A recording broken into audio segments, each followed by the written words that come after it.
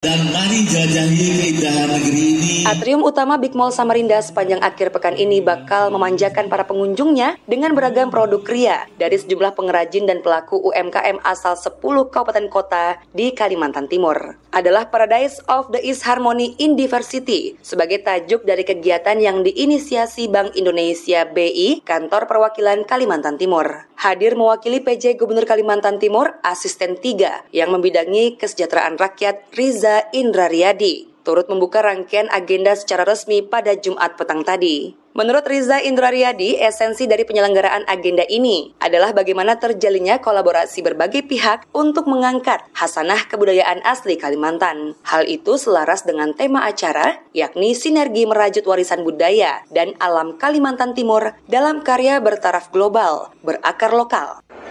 Mari beli produk-produk buatan Indonesia dan mari jajahi keindahan negeri ini dalam perjalanan wisata kita. Dengan bersatu kita dapat menciptakan bangsa dengan masa depan yang lebih cerah dan sejahtera bagi bangsa Indonesia.